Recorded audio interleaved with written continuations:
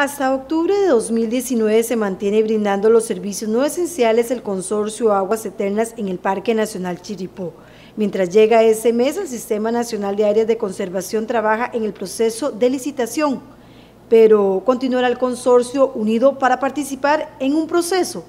En julio de este 2019 se cumplirán cinco años de que se trabaja esta concesión, cuatro que se firmaron en el contrato inicial más las prórrogas. Este consorcio lo conforman la Asociación de Desarrollo Integral de San Gerardo de Rivas, la Cámara de Turismo Rural Comunitario Chirripó y la Asociación de Guías, Arrieros, Porteadores y Cocineros del Chirripó.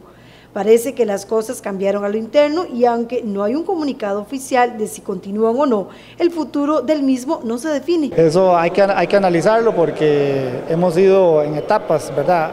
Si Usted me dice analizarlo, Hugo Márquez, que hay algunas eh, divisiones dentro del grupo del consorcio.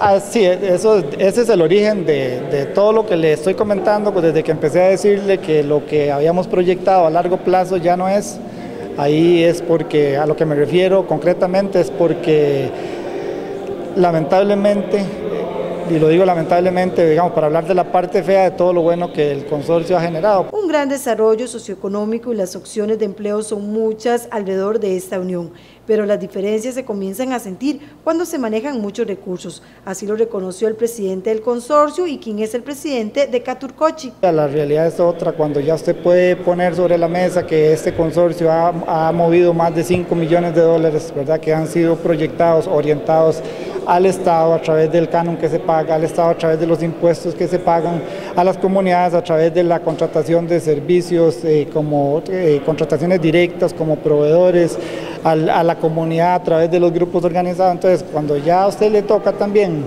poner sobre la mesa o tomar decisiones sobre la oportunidad de administrar recursos, nuestra mente cambia y eso es lo que pasó en San Gerardo. Lamentablemente esa es la situación. Entonces sí hay división porque no todos pensamos lo mismo. Ante este panorama, los representantes de Caturcochi esperan que la concesión se mantenga para San Gerardo de Rivas porque ellos dependen del turismo que se genera del parque. Nosotros no, no, no tenemos eh, o no hemos ejercido exactamente una, un comunicado como que ya se disolvió, como le digo, el consorcio se creó para cumplir para un cartel que se adjudicó y hasta que se termine, entonces hasta ahí llega nuestro compromiso. Posterior a ello sí es difícil que la figura que tenemos actualmente se mantenga, es decir, que las organizaciones que lo representan actualmente se mantengan, es muy difícil. Por esa razón creen necesario hacer una serie de análisis para definir el tema, porque los tres grupos son beneficiados con esta concesión. ¿Qué pasa si aquí un, concesionario externo viene y se instala para operar servicios en Chiripó? ¿A dónde quedamos